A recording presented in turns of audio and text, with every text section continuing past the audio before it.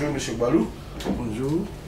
Dans le cadre euh, du mensuel euh, de l'OASU qui va paraître euh, à la fin du mois de janvier, la question de la fraude a retenu l'attention de la rédaction.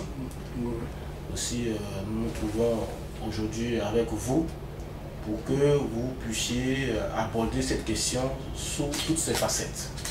Je voudrais donc vous donner la parole pour que vous puissiez entretenir le mouvement sportif scolaire universitaire de cette importante question. Merci.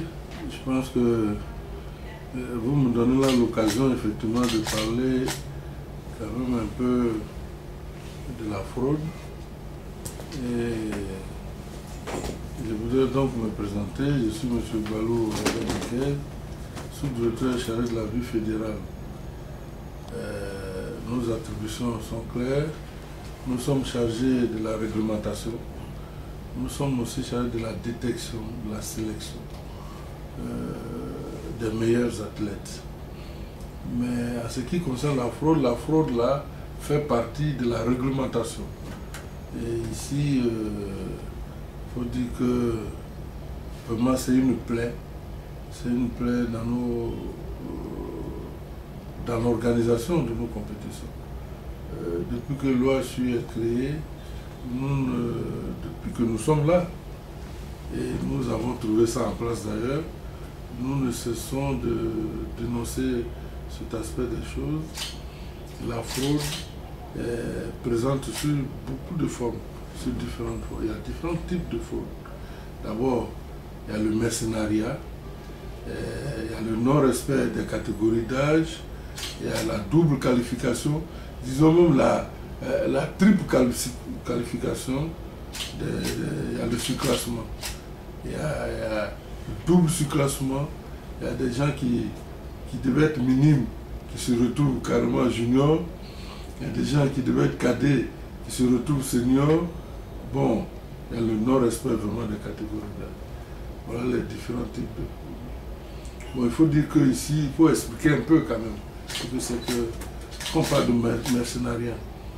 Le mercenariat est sous plusieurs formes aussi. Il y a euh, des établissements.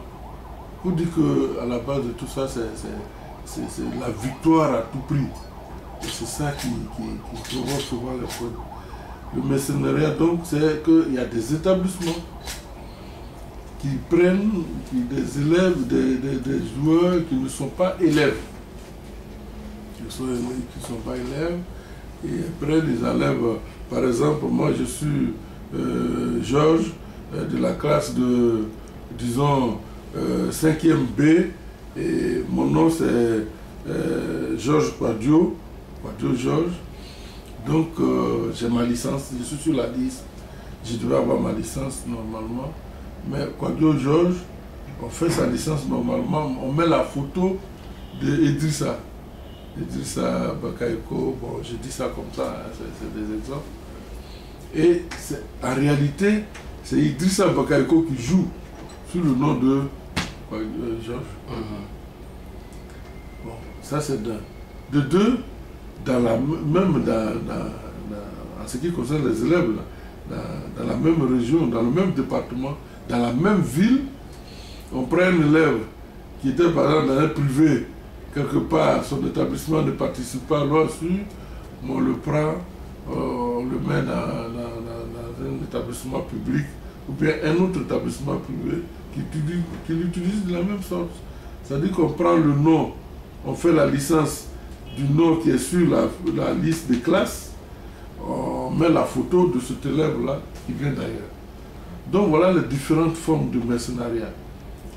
Et Deuxièmement, il y a le non-respect des catégories d'âge. Je l'ai dit tout à l'heure, on ne respecte pas les catégories d'âge qui sont bien définies en début d'année, qui sont même dans les règlements. Et on prend un élève qui devait être cadet, c'est-à-dire entre 14, 15 et 16, pour le mettre carrément en senior, là où on a 18 ans et plus. Bon, c'est tout que l'enfant se retrouve comme ça, senior, parce qu'on estime qu'il est bon et qui peut jouer parmi les grands. Mais là, en cas de blessure, l'assurance ne prend pas en compte. On n'a pas respecté les catégories. il y a la double qualification aussi des licences.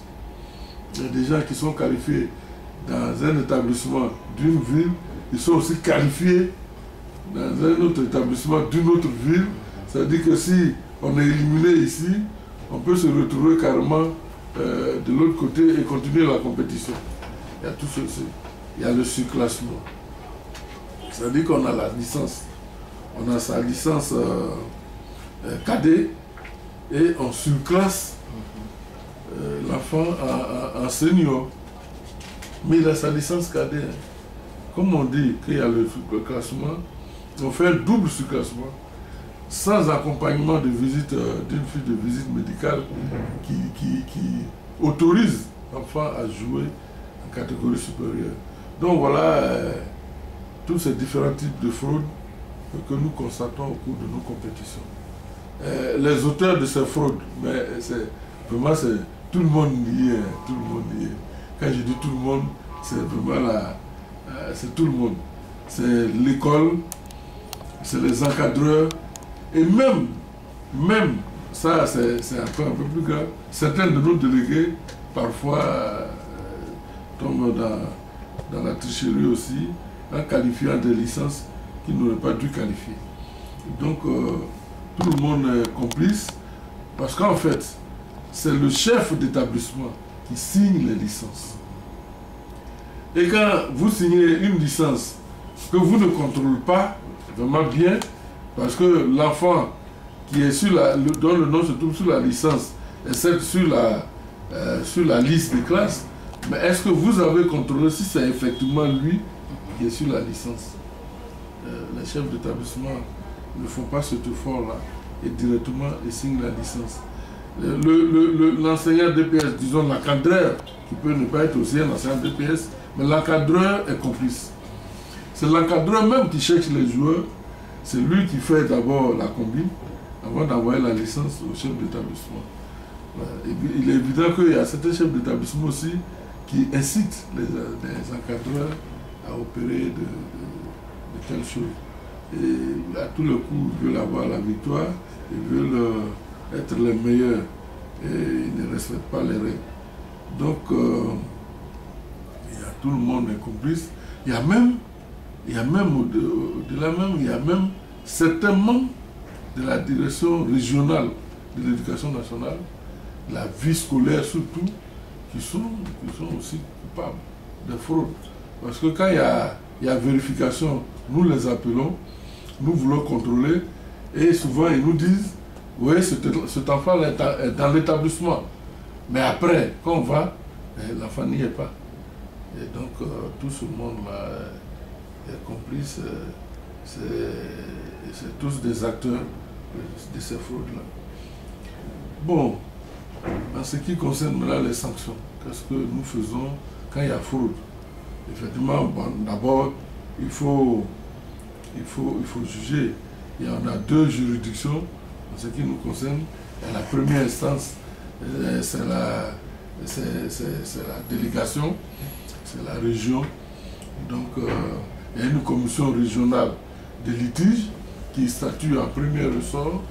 Et quand on n'est pas d'accord avec la sanction qui est prise à ce niveau-là, alors on fait appel. On fait appel, il y a une commission nationale qui est logée à la direction nationale, qui statue en dernier ressort, qui refait les, qui remène les enquêtes et qui voit un peu plus clair, qui prend les dernières décisions. Et là, ces décisions-là sont irrévocables et applicables sur le champ. Maintenant, quelles sont ces sanctions? Euh, Bon, souvent, ça va de la suspension, euh, d'abord plutôt d'un avertissement, mais, c'est pas avertissement euh, par rapport à un cachet qui n'a pas été bien mis et qui est effacé, les, cachets qui ne sont pas les mêmes. donc euh, on avertit. Désormais, il faut bien remplir les, vos licences et tout, et tout. vos feuilles de marque, c'est pas bien, c'est pas les mêmes. souvent, euh, ça je reviens là-dessus au niveau des acteurs, souvent on n'a pas les mêmes dates de naissance des enfants. C'est-à-dire ce qui se trouve sur la licence n'est pas la date, cette date-là n'est pas celle qui se trouve à, la direction régionale.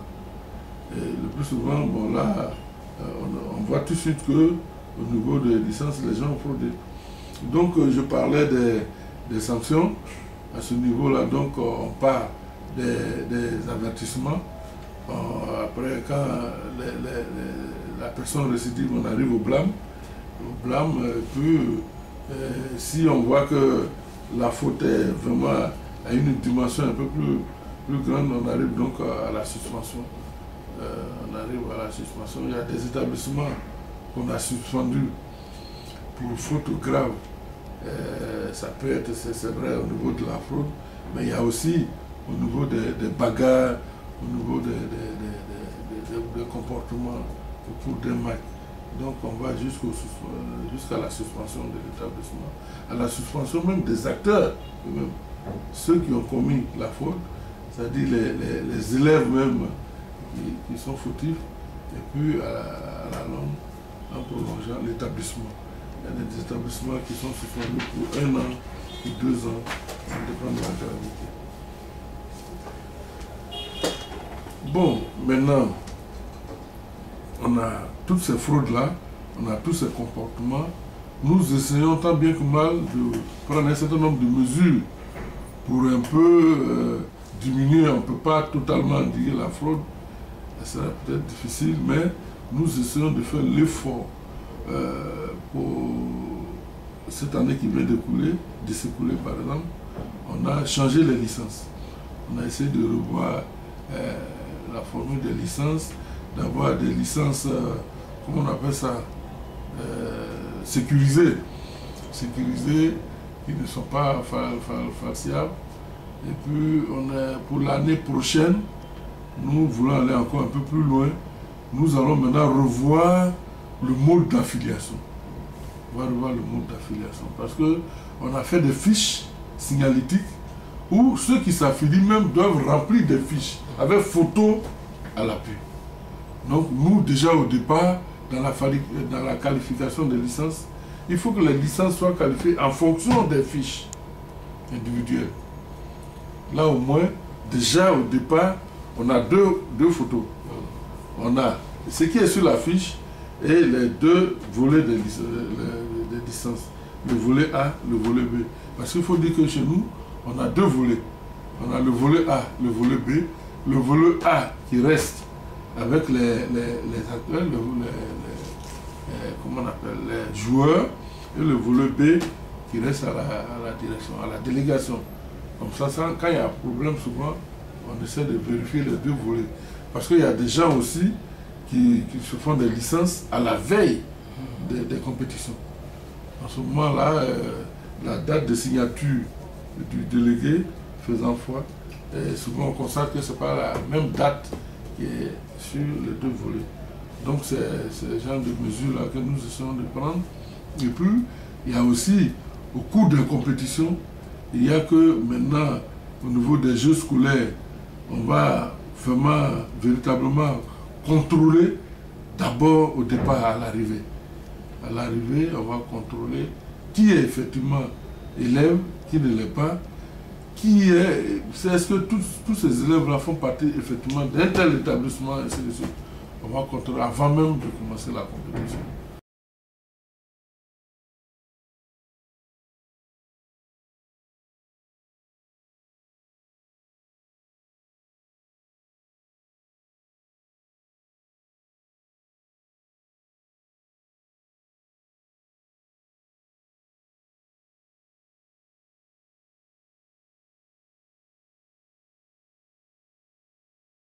Parler aussi de la fraude par rapport aux régions.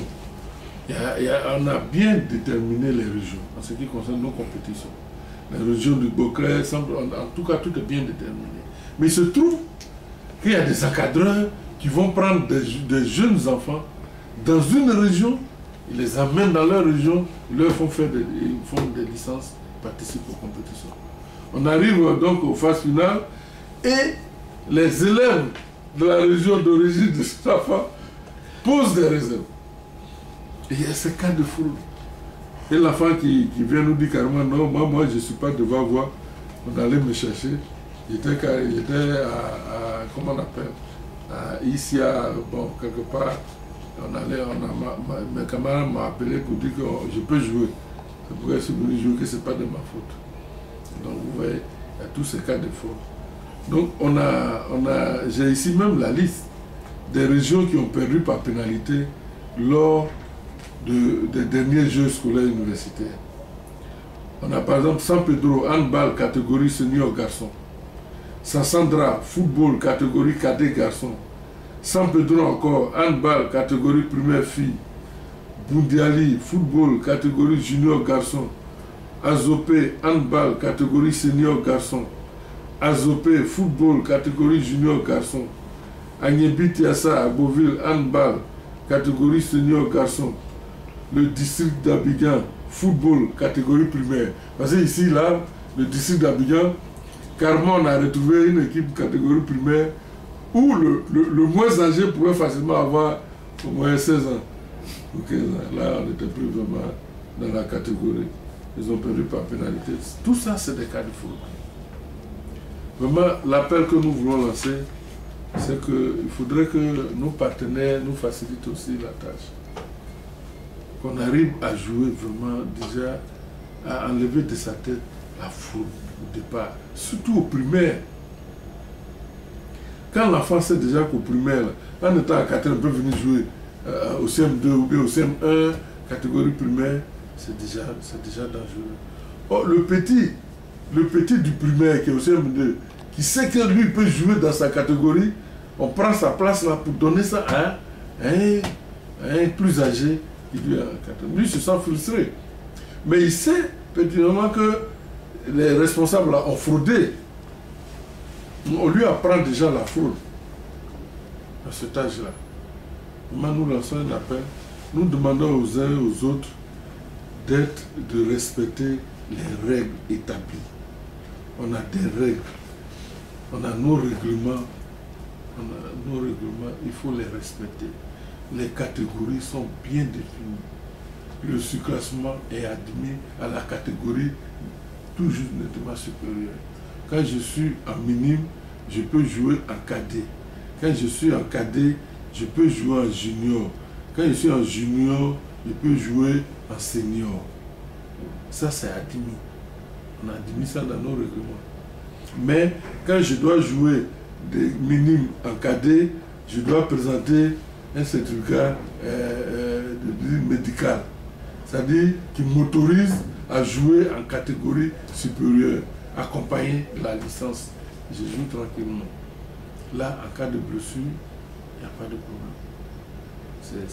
C'est une blessure qui certainement devait arriver.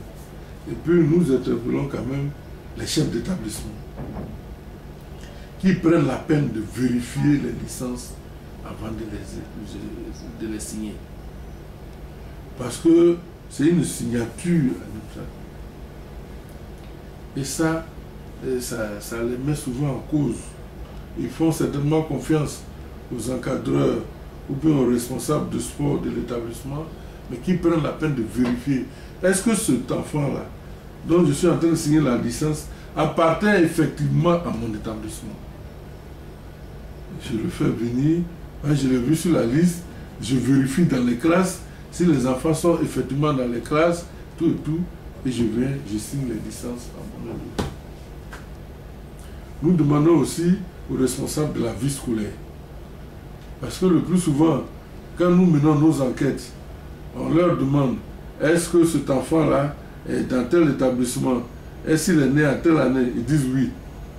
Mais après qu'on va vérifier, c'est le contraire parce qu'ils sont en connivence euh, avec euh, soit le chef d'établissement, soit l'encadreur. Donc euh, vraiment, nous les interpellons. Nous, à la limite même, nous interpellons le DREN. Il faut que le DREN vérifie, vérifie aussi un peu les listes des classes qui sont déposées, enfin, certainement qui seront certainement maintenant déposées à la Ligue la Ligue qui va organiser les compétitions. Il faut que tout ça soit vérifié. Il faudrait que nos partenaires, surtout ceux qui s'engagent dans nos compétitions, lisent nos règlements. Il faut qu'ils lisent réellement il faut qu'il les aide d'abord. Nos règlements sont sur notre site. Vous allez sur notre site, le site de l'OASU, le règlement hier, vous pouvez euh, tirer, mais il faut les connaître, il faut les regarder. Avant de participer à une compétition, il faut connaître les lois qui régissent cette compétition. Mais on ne connaît pas les règlements, on va jouer, on fait des fautes graves. Même il y, y, en a même qui arrêtent souvent les matchs pour une, petite faute d'arbitrage. Le gars, il ne sait même pas que cette loi a évolué. Et l'arbitre qui est au parfum de la loi l'applique. Et l'encadreur, carrément, il vient, il arrête le match, il dit à ses enfants, vous sortez du terrain. L'arbitre, il fait combien? Il Quand on contrôle, on regarde, la loi a été appliquée. Donc nous leur demandons tous euh, de vraiment dire euh, sérieusement les, règlements.